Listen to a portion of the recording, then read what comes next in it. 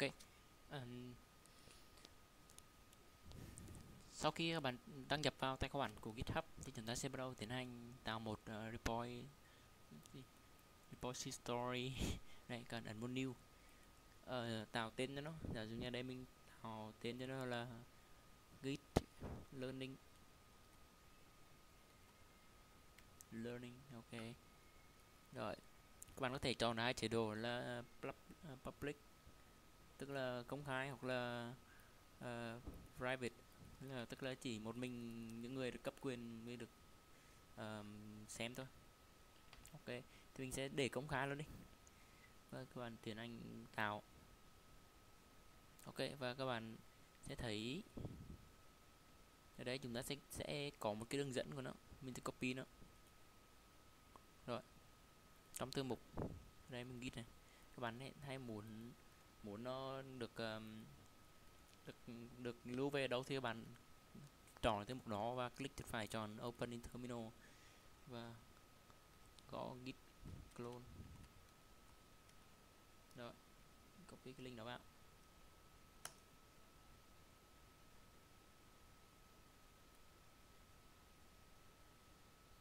Đây các bạn thấy nó đã có một thư mục mới là git learning đây. Ok bây giờ mình sẽ tạo một file mới. Ở đây ta là bật terminal lên tiếp. Ta một tạo một file mới. Đây mình sẽ mở bản word lên nhé.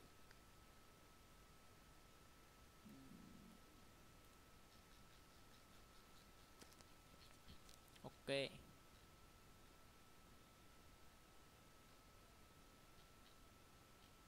Rồi, chúng ta sẽ tạo một file mới và sẽ dùng lệnh git git add và git commit để mà commit nó file nó vào ok bắt đầu mình sẽ đâu rồi ờ, tiêu mục của mình này.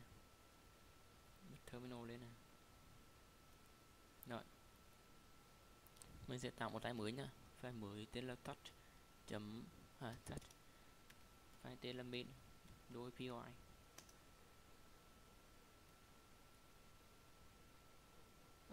sorry sorry các bạn.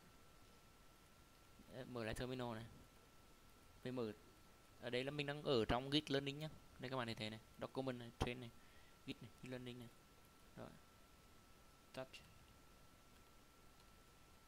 Touch main py. Ok các bạn thấy file main py được tháo ra ở đây.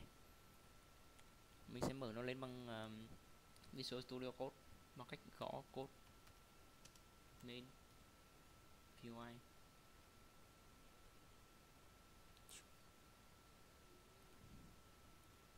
Đây ok.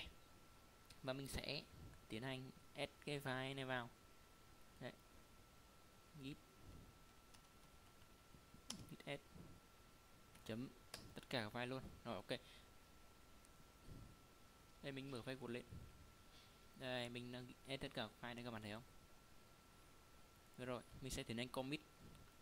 Commit cái cái cái file đó. Ghi chú cho nó làm thay đổi gì nhá. Đấy. git commit. Gạch m. Và lời nhắn của mình là thêm main chấm py chưa? Ok. Và nó đã đã đã thông báo là một file được được thay đổi này. Đó. Rồi, thêm main chấm py này rồi. Rồi, git status. Git status.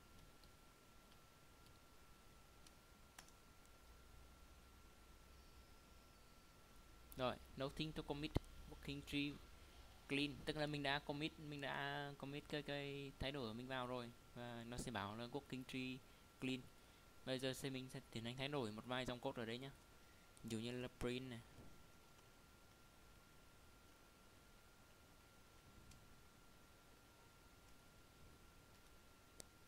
ABC này. Chuyện mình thanh mở terminal lên và thêm vào. Git add và tiếp tục mình git status. Còn để thể thấy ở đây là nó thông báo là file main.py đã được modify, đã được thay đổi. Ok, và mình sẽ tiến hành commit nó lại. Thêm một dòng code main py ok. Tiếp tục nữa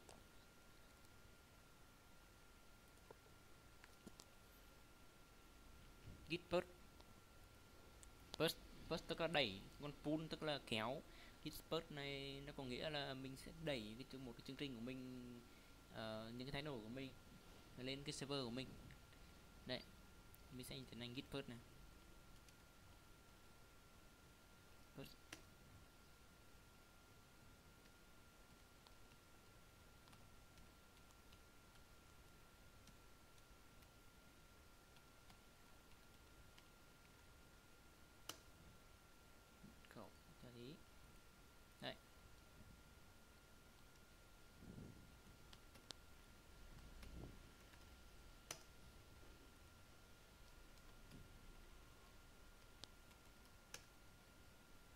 Ok và nó tiến hành post cái chứng code của mình lên trên git server. Ở ở brand nghĩa là brand master. Hiện tại nó đang ở brand master. Hồi hồi nữa tí nữa mình sẽ nói thêm về cái phần phần brand này. Đây và tiếp tục mình sẽ lên git. Đây mình sẽ tiến hành refresh trang này lại. Rồi các bạn đây để thấy mình đã có thêm một file là main.py và uh, cái cái chủ tích là thêm một dòng code. Đấy và mình có thể xem commit này. Đây commit của mình là thêm một dòng code này thêm file main.py này. Đó. Đấy các bạn thấy không? Nó được cộng thêm một dòng code này. Print này abc này. Đúng chưa? À, khi này trong có nó có rất nhiều cái lợi ích. Ví dụ như bạn đang làm việc ở công ty của bạn sau lúc mà về nhà bạn có thể lấy cái laptop cá nhân. Mình có thể à, pull pull cái code đổ về clone code code đổ về sụp à, sụp code đổ về và tiếp tục làm việc. Và bắt đầu lại put lên và sáng mai để công ty mình lại pull về để tiếp tục và phát triển dự án. Ok ờ, rồi tiếp tục tới git branch rồi đây. Đấy, git checkout. Checkout này nó nó giống như kiểu là mình tách thêm một brand khác á. à nhầm cái checkout để để nhảy qua lại cho các các các ờ, brand khác nhau. Còn git brand này được để dùng để liệt kê này tạo hoặc là xóa xóa các brand này. Này, giả dụ như muốn tạo này. Đây nhá, giả dụ như mình muốn tạo này, git brand. Ship ship insert. Cái gì vậy? Gọi gõ luôn đi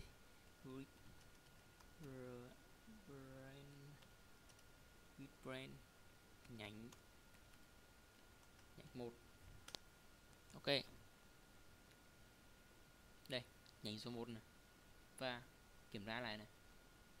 Git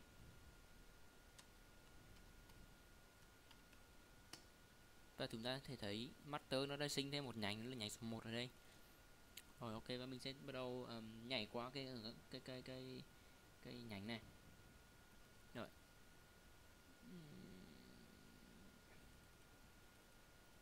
ok đây click checkout này.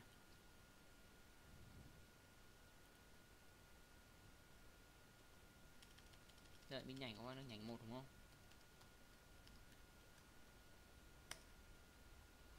Đợi, và nó đã thông báo là mình đã được chuyển qua nhánh số 1 Tương tự là để muốn xóa cái nhánh này thì các bạn sẽ gõ lệnh là git branch d gạch d và tên của branch đây đây là delete nhé xóa. Git pull để kéo số code về. Ok về cơ bản thì nó chỉ có như vậy thôi. Nó là những cái dòng lính mà các bạn sử dụng nhiều nhất. Sau khi mà các bạn đã uh, hiện tại này mình sẽ cho git branch lại này. Hiện tại nó nằm nhảy số 1 nhé các bạn có thể thay phát triển dự án xong hoàn thiện các bạn có thể nhảy qua lại git master và put nó lên put nó lên server. Ok.